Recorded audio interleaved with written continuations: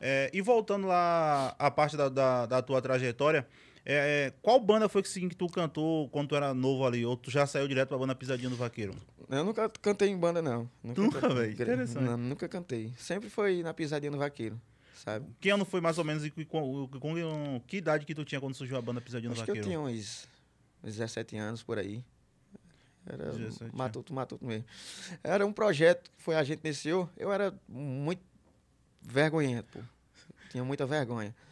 Só que daí, é, eu tenho um colega que é Claudinho, ele mora, meu vizinho. Ele sempre tinha um teclado, né? Daí ele, ele sempre pediu, go- é, sempre gostou, eu cantando. Aí ele sempre me deu a oportunidade. Ele disse, não, vem aqui cantar, uma, ensaiar aqui uma música comigo. Só que eu, com vergonha, pô, não ia de jeito nenhum, não. Aí ele só, teve uma época que ele chegou em mim, aí falou, ó, que até tinha um balneário lá perto, né, da gente. Aí ele falou, vai ter inauguração e a dona quer que a gente faça um show lá. E ela vai pagar. E o cara precisando Do trocar papel. também, né? Aí eu disse, rapaz, vamos. Ô, rapaz, o vergonha do caralho, tu é doido. Mas, graças a Deus, deu certo. Daí, a gente montou o projeto, foi evoluindo, e graças a Deus, hoje estamos...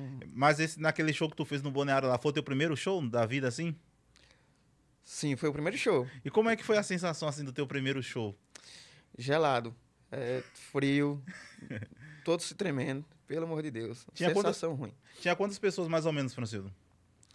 Rapaz, tinha um... um monte de gente, viu? Dava umas 500 pessoas?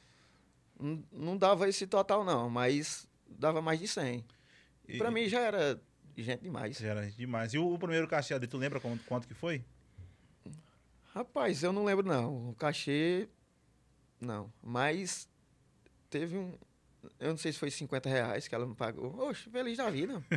Já deu pra comprar alguma coisa, Deu né? pra comprar alguma coisa, né? Pelo menos de bombom.